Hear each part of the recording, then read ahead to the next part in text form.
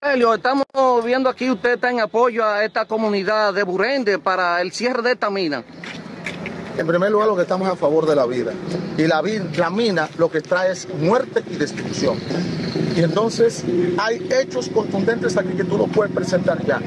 Eh, el hecho de que los muchachos no pueden ir a la escuela por el fango que tienen, la destrucción incluso hasta la, misma vía de acceso a, a toda la comunidad de Burende. Y sobre todo, eh, cuando es una comunidad que se organiza para exigir eh, un derecho fundamental como es el derecho a la vida, por lo tanto lo que estamos pidiendo hoy es que las autoridades den, se acerquen y den respuesta, ¿por qué? Porque el otro elemento que hay que señalar que es fundamental también, ellos dicen que tienen un permiso, pero hasta este momento no han mostrado dicho permiso. Vemos una falta de la autoridad de medio ambiente que no ha hecho presencia.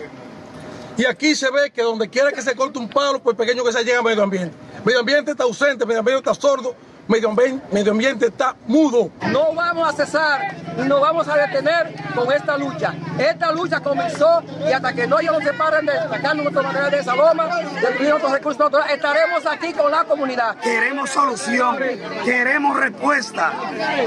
O de lo contrario, no sabe, no se sabe lo que va a pasar.